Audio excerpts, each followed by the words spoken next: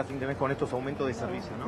O sea, un poco imposible porque los sueldos no aumentan, así que nada, hay que aguantarse. ¿Tuviste que restringir algunos gastos? Todo, todo, el auto Todo. lo puse en venta, así que porque tampoco se puede mantener con todo, así que nada, achicando de todos lados, buscando ofertas, de vida. buscando ofertas en supermercados, con bancos y, y tratando de no usar la tarjeta de crédito, ¿no? Claro. Porque si no uno después se endeuda para poder subsistir.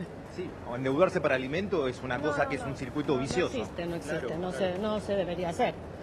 Así que, pero bueno, es la realidad que tenemos. Yo lo voté, ¿eh? Lo voté. Pero bueno, ¿Te sorprendió? Eh, no, lo que pasa que creo que pasa lo mismo de siempre. Los jubilados siguen ganando poco. poco. Tengo mi papá que gana 205 mil de, de mínima y, y ellos se suben los sueldos. O sea, nunca se bajan. Los diputados, senadores, nunca se bajan.